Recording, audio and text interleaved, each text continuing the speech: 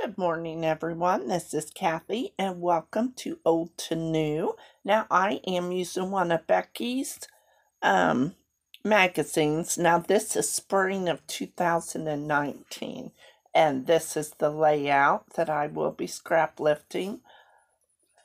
I um, did a video yesterday for Punched Out Thursday to Die For, and I showed you how I just kind of wrap twine around um, the flowers. These flowers are from Close to My Heart. And let me grab them here. They are in the core catalog, 21-22 catalog.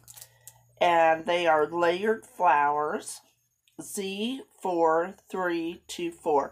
I will have that linked below.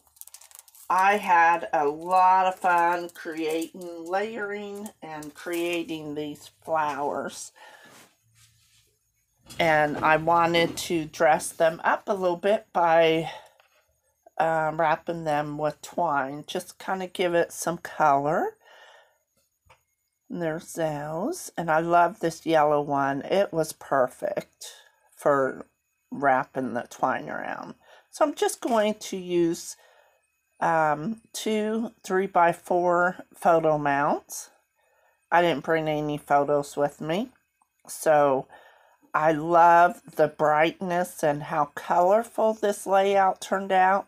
Now the paper that I cut these out of, I'm using Becky's um, Horizon collection from Paige Evans. And I just pulled anything with rainbow colors because you know that's my favorite thing to scrap. I love rainbows. Then having two granddaughters helps me continue loving rainbows because I could put a couple pictures of Riley and Lily on this page and it's just kind of I, I love the big flowers. And I didn't put any leaves on them because I liked the shapes like they are. Sometimes I'll add leaves and other times I won't. Now I'm putting foam adhesive on this.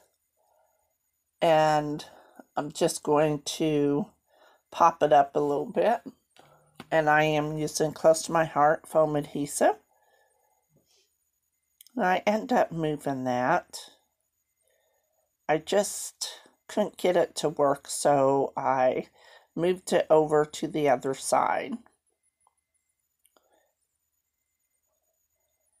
I love how I chose yellow to be the background paper and then used a couple yellow but decorated it with twine and and it, it still looks fine and with those blue and pinkish purple flowers. I just think it all ties in wonderful.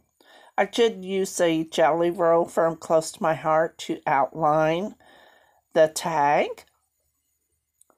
And I'm pulling in some bits of bobs that Becky had on my layout. The little chipboard. And I couldn't decide what to use for a title. So I, I pulled these labels and kind of tuck them and I'm just gonna write a little who's in the photo or whatever, the date. Off camera, I ink this with sapphire ink and it kind of goes with the blue in that flower.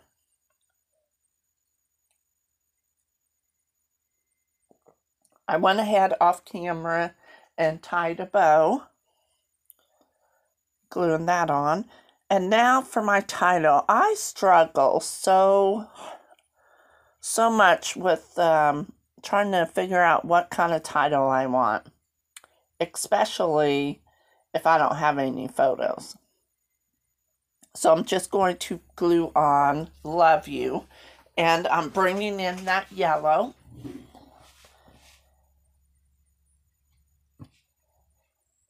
Just a little hint of yellow, I think, looks good with the other colors. I don't think I could ever do a yellow monochromatic page with with yellow. Just not one of my favorite colors. I, I love the little bits of yellow that's showing. I found this little label and it says family fun. Gonna put that on the left photo and then I'm going to pop dot but you'll see here in a minute I had the bow that I already glued on my button. It was upside down so I had to remove the adhesive. And um, see there's where I realized that the bow was upside down, so I had to, in fact, I ruined, I didn't want to put foam adhesive over my photo, so that way I could tuck it, the photo under that flower whenever I get a photo, or if I might get rid of this layout and just have someone else be able to put photos on there. All right, so I like that, and it's lifted up. All right, I like how that is.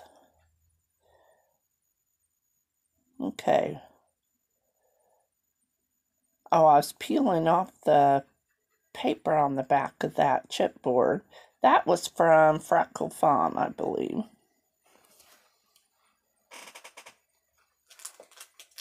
Let me see.